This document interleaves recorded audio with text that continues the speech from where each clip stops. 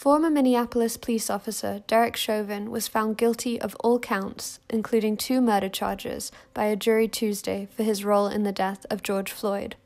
The jury made their decision after just 10 hours of deliberations, finding the former police officer, who knelt on Floyd's neck for more than nine minutes during his arrest last May, was guilty of second degree manslaughter, second degree murder, and third degree murder.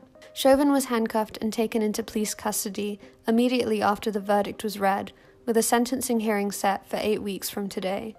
It's unclear how much jail time Chauvin will face, as Minnesota sentencing guidelines recommend a median sentence of 12 and a half years for both murder counts and four years for the manslaughter charge for those with no criminal history. However, prosecutors have indicated they plan to advocate for a higher than recommended prison term because of aggravating factors in the case, including that the crime happened in front of a child and that Floyd was treated with particular cruelty. The verdict was immediately met with cheers from the crowd outside the Hennepin County Courthouse as they celebrated the rare conviction of an on duty police officer. Meanwhile, Floyd's family, politicians, and celebrities all applauded the trial's outcome as a major step towards systemic reform.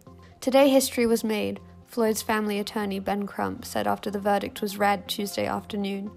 We are finally, as a country, starting to live up to the promise of equal justice under the law for all people.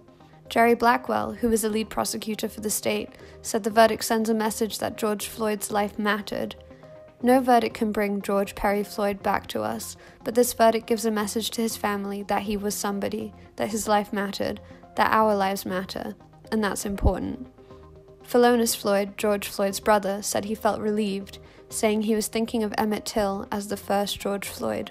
Chauvin's defense team will likely appeal, though they have not formally announced that yet.